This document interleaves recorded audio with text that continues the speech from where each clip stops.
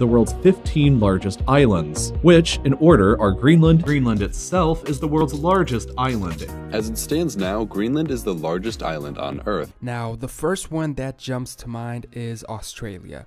However, Australia is technically considered a continent. Because of this, the largest island in the world is technically Greenland. No.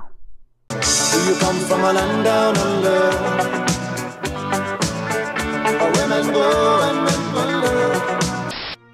Hello everybody, my name is Soma, and despite the fact that I struggle to even imitate the Australian accent, in the fact that I live on the opposite side of the planet to Australia, I am, in fact, an Australian citizen. And as an Australian citizen, I'm taken aback by this troubling pattern of ignorance about my motherland. Greenland is big and all, but the title of largest island in the world rightfully belongs to the island of Australia. When I bring this up, people inevitably respond by pointing out that Australia is a continent, and therefore cannot possibly be an island.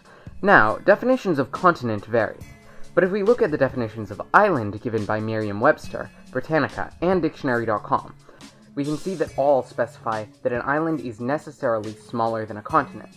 If Australia is a continent, therefore, it obviously can't be an island, right? Well, not so fast. What people miss when they make this point is that the name Australia is being applied to different geographic boundaries in each of these cases. Australia is, in fact, an island, a country, and a continent, each of which have different boundaries. The island of Australia is this landmass right here.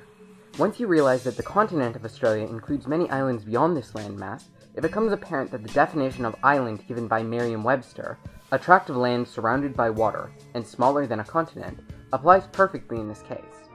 The country of Australia, meanwhile, includes more than just this island. Most prominently, the island of Tasmania, just south of the mainland, is also part of the country of Australia. Additionally, the country of Australia includes over 8,000 smaller islands, and claims dominion over a large chunk of Antarctica. Now, what about the continent of Australia? The continent of Australia actually includes three countries as of the writing of this video. First off, there is, of course, the country of Australia.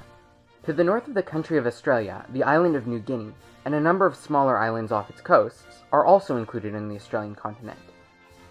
The island of New Guinea is divided between the nation of Papua New Guinea in the east, and the Indonesian states of Papua and West Papua in the west. So, that addresses the question of how Australia can be an island, a country, and a continent all at the same time. But while we're here, let's take the opportunity to clear up another common misconception. Actually, you could make the argument that Australia is a continent of its own right, which, I mean, isn't correct. Oceania, which is the sixth continent. Um, a lot of uh, Americans, I believe, are taught in school that, like, this continent is Australia. Um, but this continent is actually Oceania.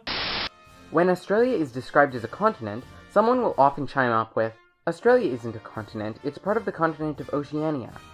So let's take a quick look at Oceania.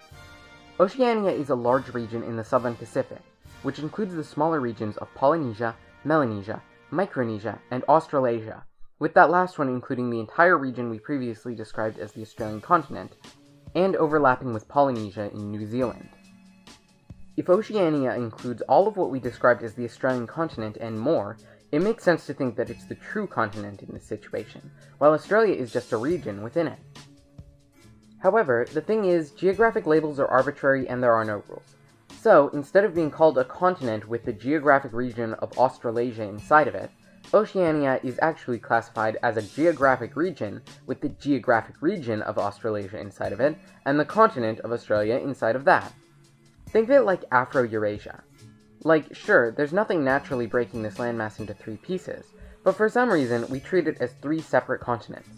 If you think of Asia as equivalent to the continent of Australia, you can see Eurasia as equivalent to Australasia, and Afro-Eurasia as equivalent to Oceania. It might make the most sense to make the largest sections continents, and call the smaller divisions regions, but hey, since when have human labels ever made sense? I hope this has helped to clear up some of the confusion about Australia's position as the largest island and smallest continent. If you see anyone making the mistake of calling Greenland the largest island, or calling Oceania a continent, please feel free to send them this video. Thanks for watching everybody, I'll see you next time.